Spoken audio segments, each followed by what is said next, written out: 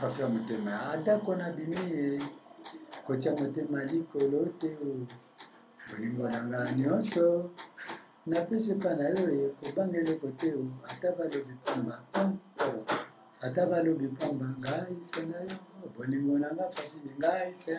obeti yango na nsima nango mpe moyo na mosusu nasalaki moto wa ntete walombaki mpo nzambe mbutaka savu bakanga bele kutuba kulundi ludiaka lya baso mwana mosi viva kimpwanza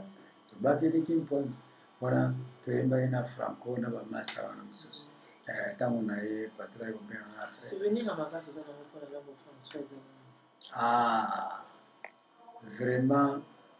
omoni ke souvenir ya makasi naza nango mpa ya yorgo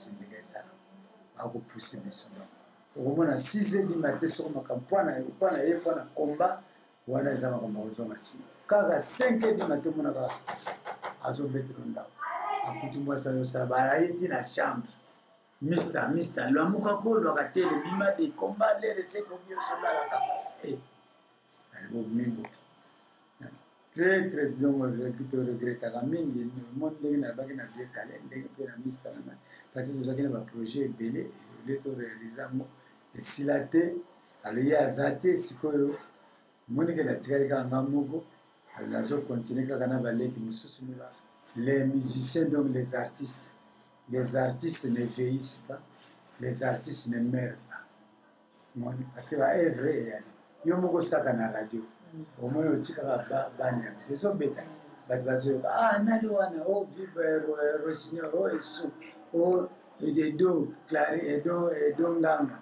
o oh, bona boye vous voyez parce que ba, ba, wana moto physiquement moto akufa mais euh, artistiquement œuvre na ye ezali ezobeta donc tozoloba na bango kaka bato batia batiaka mabondeli makasi nzambe apesa biso encore longue vie pour que un jour bakomona mpe biso na scène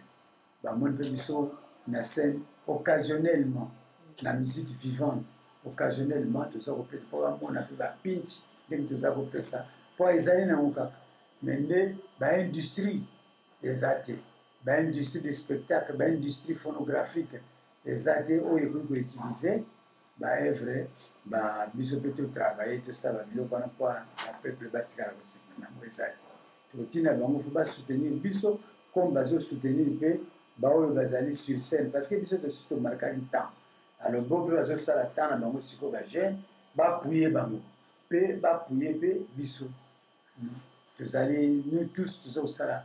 preside lelo ozotamba magasin ozomonaka ba vieux succès ezotekama to bazobetabeta yango na bachaine mpo ba misusu eza te soki bizalaki nde ekendaka oke mais bapuye kaka biso nyonso tout na bajeune na biso parce que tozosala fierté ya congo